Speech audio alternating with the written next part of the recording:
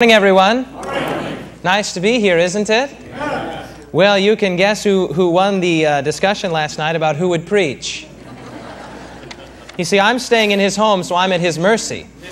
And uh, he, he basically said, in so many words, if you'd like to have a warm home tonight, dry, you will preach tomorrow. Now, he didn't say it exactly like that, but he might as well have. he actually said something like this The Lord told me that you're supposed to preach tomorrow. And he told me that he would tell you later. you know, that's the classic line that uh, the young man uses to win that young lady in the, uh, in the youth group. You know, He's, he has a fancy for her and he thinks she might be the one. And so he says, You know, the Lord told me you're the one I'm going to marry. And he told me he would tell you later. thank you, Jason. It's a privilege to be here this morning. I thank you for your patience. And I just want to say from the bottom of my heart, happy Sabbath. Isn't it glorious to be in the Lord's house on the Lord's day studying from the Lord's Word? Amen. Amen. Our message this morning is entitled Revelation's Bride. Revelation's Bride, and it will be part of the continuous series of the 11th hour evidence. Now, before we get into the message proper, though, what will be our custom? To pray. So let's begin with a word of prayer. Father in heaven, we come to you just now and we thank you for this glorious Sabbath morning. Father, it is warming up and the buds are preparing to bloom, and, and it is a beautiful time here, spring. And Father, spring reminds us of that rejuvenation and regeneration that we experience in Christ. Please, Father, now as we open your word, we pray that you will condescend to come into this room in the person of your Spirit. You have promised that you would send the Spirit of truth to lead us into all truth. And so, Father, we are asking that you will do that just now. Father, we pray that as we try to uncover and to discover this powerful message about the bride of Christ, we pray that your Spirit will teach us, not because of a man, but in spite of a man. May my words today be thy words, is my prayer in Jesus' name. And everyone can say, Amen. Amen. Well, let's begin by going to Revelation chapter 12. And our message is entitled Revelation's Bride. Revelation, what chapter are we going to? 12. Now, Jason said something that's actually very powerful and very true in his introduction. He said the church is the bride of Christ. Let me ask you a question this morning. Is that biblical? I said, is that biblical? That is biblical, isn't it? Revelation chapter 12. And beginning in verse 1, we find here John there uh, riding on the lonely island of Patmos. I can imagine as he saw this powerful vision, the warmth that must have come over his heart as he realized that he was a member of the very bride that he was seeing in that prophetic vision.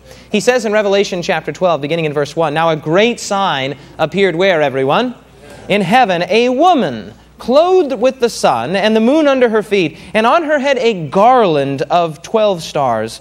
Then she, being with child, cried out in labor and in pain to give birth. Notice what this woman is adorned with, what she is clothed with the sun and the moon and the what else, everyone? The stars. The sun, the moon, and the stars. These are the three things that God ordained in the creation week, Genesis 1, to bring light to a dark planet. When John saw there that woman in Revelation 12, in my mind's eye, I see John remembering Isaiah chapter 60, verses 1 and 2. Arise, shine, for thy light is come, and the glory of the Lord is risen upon thee. Behold, darkness covers the earth, and gross darkness the people, but the Lord shall arise upon thee, and his glory shall be seen upon thee. God here depicts His beautiful bride, transcendent and iridescent in her glory, bringing light to a dying and darkened world. Can you say amen? amen? Now, in both the Old and the New Testament, it is common for God to refer to His church in a prophetic context or a symbolic context as a woman. We have that in the Old Testament as well as in the New Testament, and so it is very biblical and very theologically sound for us to affirm that this woman that John sees here in this eschatological prophecy is none other than the true church of Christ. I want to say that again. The true church of Christ. The what church? The true church. Now, something very interesting happens right here within the context of the book of Revelation. And if we go just five chapters forward, we come to Revelation chapter 17. Go with me now to Revelation chapter 17. We have seen that first vision of that beautiful woman. And now we will note that there is a second, a second woman that appears. I'm in Revelation chapter 17.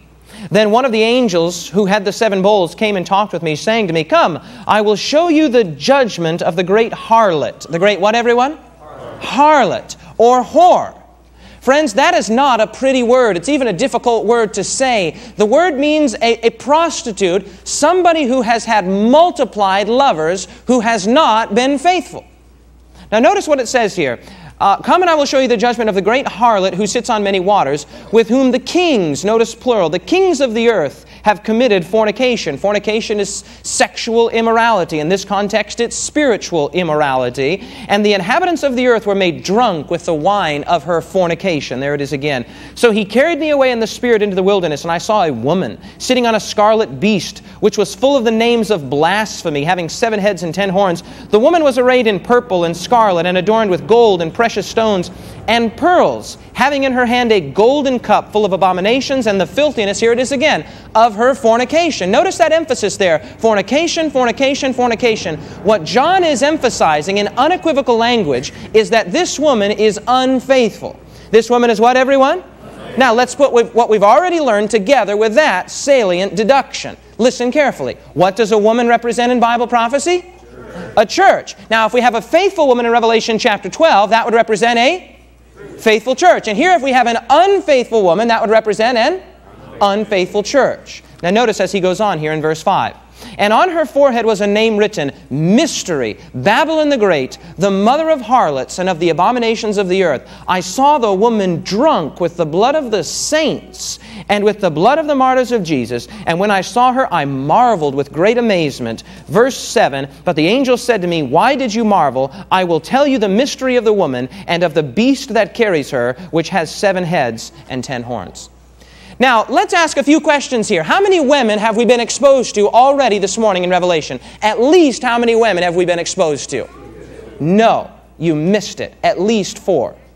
Now, why do I say four? Notice verse 5 again. When describing this woman, it says, Mystery, Babylon the Great, the mother of harlots. Now, if you have harlots, you put the S on the end in the English language, that means we're dealing with a plural or a multiplicity. That's right. So if, if she has harlot daughters, we have at least how many?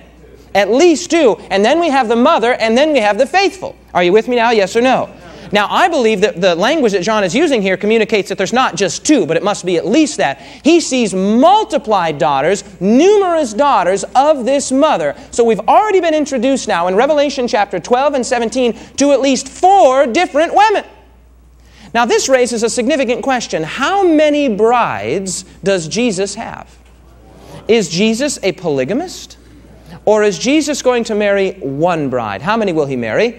One bride. Well, let's try and put this into a context here. Mystery Babylon the Great, the mother of harlots and of the abominations of the earth, contrasted with that beautiful chaste woman that we saw in Revelation chapter 12. Now, how can this be? If Jesus is going to only marry one, and he established just one, how can it be that when we come to Revelation, we find not one, but two, three, four, five, and an innumerable number of brides? Go with me in your Bible then to Matthew chapter 16. Let's see if we can set a context for this. Matthew chapter 16. We will come back to Revelation, but let's go now to the first book of the New Testament. From the last book to the first book of the New Testament, I'm in Matthew chapter 16. Matthew, what chapter? 16. And a byproduct of our message tonight will answer this, this very important question that many people are asking, many non Christians even are asking, and that is why are there so many different Christian denominations? That will be a byproduct of our message, and you will see why that is the case from a biblical perspective and not just from an ecclesiological perspective. So we are now in Matthew chapter 16, and I'm quoting beginning in verse 18. Let's begin there. Jesus is speaking to Peter. Actually, let's back up. Let's pick it up in verse 13. When Jesus came to the region of Caesarea Philippi, he asked his disciples, saying, Who do men say that I, the Son of Man, am? Jesus is taking a public opinion survey. Verse 14. So they said, Some say John the Baptist, and some Elijah, and others Jeremiah or one of the prophets. Jesus was satisfied that they had given him an accurate representation of the public opinion, and so he asks now a more pointed question in verse 15. He said to them, But who do you say that I am? Who do what, everyone? You say that I am. Verse 16 Simon Peter speaks up on behalf of the rest and said, You are the Christ, the Son of the living God. Was that the right answer, by the way? Yes or no? Notice verse 17. Jesus answered and said to him, Blessed are you, Simon Barjona, for flesh and blood has not revealed this to you, but my Father who is in heaven. Verse 18. And I also say to you that you are Peter. You are what, everyone? Peter. Peter. Now, the word there is Petros. You are Petros, and the word means little rolling stone or a pebble. Or a what word, everyone? A pebble. You are Petros. You are a little pebble. But notice what he goes on to say, and on this rock. Now, the word here rendered rock in the Greek language is Petra. Petra. Jesus is actually using a very powerful play on words. He says, You have answered correctly, Simon Peter, and I say unto you that you are Petros, little rolling stone, little pebble, but upon this Petra, large, monolithic, unmovable rock, I, notice what he will do, will build my, what's the next word? Church. Now you will notice that the word church there is in the singular. It is in the what, everyone? Singular. I will build my church, and the gates of hell will not prevail against it. Quick question here. According to Jesus' own words, how many churches did he establish on that Petra? How many, everyone? One. One. So if we could have asked Jesus, if we could have transported ourselves back to ancient Palestine and said, Jesus, how many churches will you build on the foundation of the Petra? He would say, I have established my church. My what, everyone? Church, in the singular. Well, now this raises significant theological paradoxes and questions for us because if Jesus establishes a single church in the first book of the New Testament, and then we come to the last book of the New Testament, we don't have a church, but we have multiple churches symbolized by women, this raises a, an important question. Where did all of these women come from? You with me now, yes or no? Now let's notice another one, and this is in uh, the writings of Paul, the book of Ephesians. The book of what, everyone? Galatians, Ephesians, Philippians, Colossians. You'll find it right there. Uh, you'll have Romans, 1st and 2nd Corinthians, then Galatians, Ephesians. Ephesians chapter 5. Ephesians chapter 5. And the Apostle Paul here draws out some very sublime parallels between the relationship that a man and a woman have in the marital confines and the relationship that Christ has with his church. Notice that with me in Ephesians chapter 5, and we'll pick it up in verse 2. Hus- Wives, submit yourselves to your own husbands, or verse 22. Wives, submit yourselves to your own husbands as to the Lord. For the husband is the head of the wife, as also Christ is the head of the what? Church. Notice there in the singular. He is the head of the church. That is the singular definite article, the. Not the church is. That he is the head of the church and he is the Savior of the body. Therefore, just as, notice it again, the church is subject to Christ, so let wives be subject to their husbands in everything. Husbands, love your wives, just as Christ also loved, what are the next two words? The church and gave himself for her, that he might sanctify her. Notice not them. Sanctify and cleanse her with the washing of water by the word, that he might present her to himself, a glorious church, not having spot or wrinkle or any such thing, but that she should be holy and without blemish. Jump down, down, to, ver- down to verse 31. For this reason shall a man leave his father and mother, and the two shall be joined to his wife, and the two shall become one flesh. He's quoting from Genesis 2. Then in verse 32, he draws this very powerful and salient conclusion This is a great mystery, but I speak concerning Christ and what? The church. There is no escaping it, friends, that the Apostle Paul in Ephesians chapter 5, in breaking down this relationship between a man and a woman as a microcosm of the relationship between Christ and his church, he refers to it consistently and repeatedly as the church, the church, the church, the church, in the singular. In the what, everyone? In the singular. Friends, Jesus is not a polygamist. In the same way that one man has one wife, so too Christ, as the second Adam, will have one bride. Amen? So we're on the same page. Yet this raises significant questions about where did these other women come from in the book of Revelation? How can it be that these other women come? Well, notice that she was referred to as Mystery Babylon the Great. That word Babylon is pregnant with significance, and we need to understand it. Go with me now to Genesis chapter 11, first book of the Bible, Genesis in the 11th chapter. Let's see if we can wrap our fingers around this idea of Babylon. We're going to Genesis chapter 11, and we're going to begin in verse 1. Genesis chapter 11 and verse 1. Now, I'm going to read through this passage quickly to set the context, so be sure you're following along, beginning in verse 1 of Genesis 11. Now, the whole earth had one language and one speech, and it came to pass, as they journeyed from the east, that they found a plain in the land of Shinar, and they dwelt there. Then they said to one another, Come, let us make bricks and bake them thoroughly. They had brick for stone, and they had asphalt for mortar. And they said, Come, let us build ourselves a city. Let us build a city for who, everyone?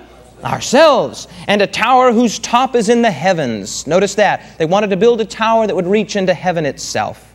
Let us make a name for ourselves, lest we be scattered abroad over the face of the whole earth. Verse 5 But the Lord came down to see the city and the tower which the sons of men built. And the Lord said, Indeed, the people are one, and they have all one language, and this is what they begin to do. Now, nothing that they propose to do will be withheld from them. Verse 7 Come, let us go down, let us confuse their what?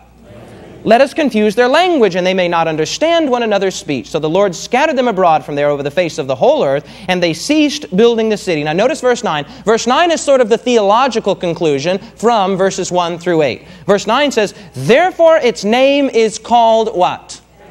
Babel or Babel. Therefore its name is called Babel, because there the Lord, what's the next word? Confused the language of all the earth and from there the Lord scattered them abroad over the face of all the earth. When the Bible uses in Revelation chapter 17 this phrase, Babylon the Great, this is a direct referent to that original place where we find Babel or Babylon, and that's in Genesis chapter 11. The flood was history. The flood was what, everyone? History. And God had said to the people, Go, disperse yourselves, go out and, and replenish the earth and subdue it, much the same way that He had said to Adam in the Garden of Eden. But instead of going out and dispersing themselves, they decided to come to a central locality and to make for themselves a city. To make what, everyone? for themselves, and this city would have a tower, a tower so tall, so robust, so architecturally perfect with, with specificity and exactitude that it would reach all the way up into the highest of the high heavens. Now, some theologians have commented and commentators that the reason they were going to build this high tower was because they distrusted the word of God about the flood. He had said, I will never again destroy the earth with a flood. Now, there's an important point there. He did not say he would never again destroy the earth. What he said is, I'll never again destroy the earth, what? With a flood. And so the, the, idea that some commentators have, and I think it's accurate, is that they were going to build this thing so tall that it would actually be outside of the reaches of a flood should one come again. In other words, friends, they were going to work by the sweat of their brow and by the ingenuity of their minds, and they were going to save themselves. You with me now? Yes or no? So, what we find here, Babylon symbolizing in its original usage in Scripture is two things. Number one, it is a center of confusion, and number two, it is a tribute to the works and edifices and artifice of man. Do you understand? Number one, a center of confusion. Number two, a tribute to man. Now, go with me to Neo Babylon in the book of Daniel, Daniel chapter 4.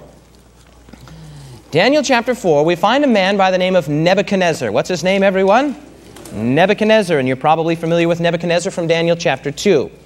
Now, I wish we had time to go into all of the details of Daniel chapter 4 because there is a sublime prophecy here that, that talks about Nebuchadnezzar and his downfall. He was stricken with a disease for seven years called lycanthropic insanity. He went out, he ate grass, and at the end of that time, he praised the Lord Jesus Christ because God had humbled him utterly. Notice why he needed to be humbled, though. I'm picking it up in verse 29. At the end of the 12 months, he was walking about in the royal palace of Babylon. That's Nebuchadnezzar. Now, verse 30. The king spoke, saying, and the picture I have here in my mind is of Nebuchadnezzar sort of walking out onto one of his verandas, looking out at the palatial and ostentatious display of ancient Babylon, which contained one of the seven wonders of the world, namely the great hanging gardens. And as he's looking at this glory, he's looking at the golden city. That's what Isaiah referred to it as. He says this in verse 30. Is not this great Babylon that I have built for a royal dwelling by my mighty power and for the honor of my majesty? Friends, Nebuchadnezzar's buttons were bursting as he looked out over his palatial kingdom, he was saying, This is Babylon. I have built it for my majesty and for my glory. So Babylon here comes to symbolize Neo Babylon, a tribute to man, his excellence, his majesty, his expertise, edifice, and artifice. Are we together now? Yes or no? Now, when the Bible then refers in Revelation chapter 17 to this woman as mystery Babylon the Great, it's, it's communicating several very powerful biblical theological points. Now, let us continue as we move now into the, the meat of this message. Babylon then would symbolize a man made system of religion.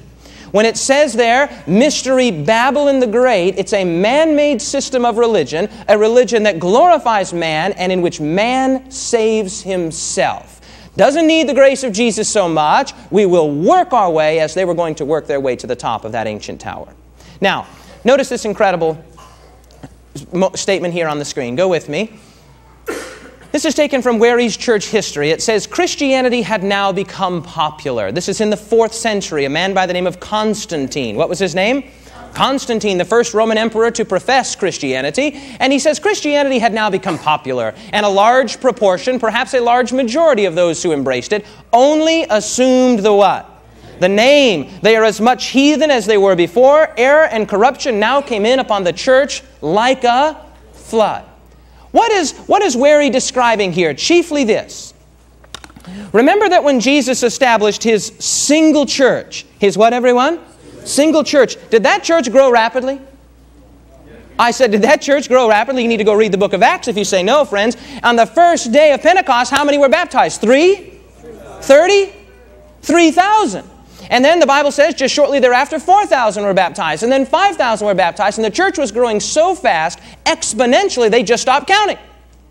The church was growing rapidly, exponentially, and as the church grew faster and faster and faster, the Apostle Paul and others could look down through the corridors of time and they could see that this rapid growth was not always going to be a positive thing. And let me just make a salient comment here. Friends, the fastest growing church is not necessarily God's church.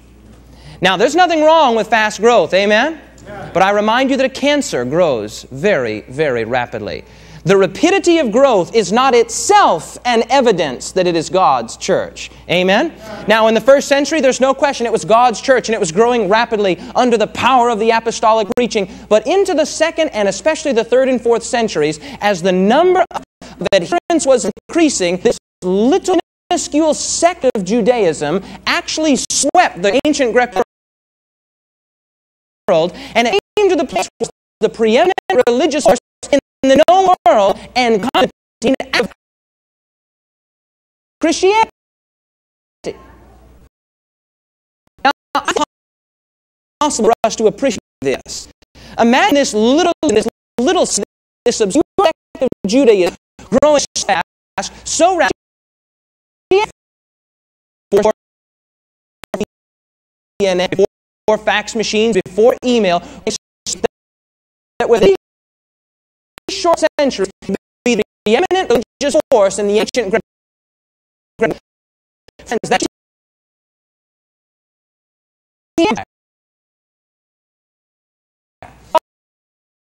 divided half for the sake of and constantly battling one another, warring with one another, and constantly thought to himself, how can I bring unity to he came up with a political scheme. Now, I say that I believe it was a political scheme. Historians still debate to this day whether or not Constantine's profession of Christianity was authentic or simply a politically motivated move. I believe it was a politically motivated move. And this is what he saw. He, he said, that if he simply, if he himself professed Christianity and could bring them together, even though the same name, but they could retain their old identity, he could unify what he saw his nation, his kingdom, under a nominal, under a what word? Nominal Christianity. Now, I want to go back to that slide there. Notice it here. It says Christianity had now become popular, and a large proportion, perhaps a large majority of those who embraced it, only assumed the what? Name. Assumed the what? Name. Name. Now, think about that. I just said it was nominal Christianity. What is the root word of nominal? Name. That's exactly right. When you say you're a nominal Christian, you're saying you're a Christian in name only.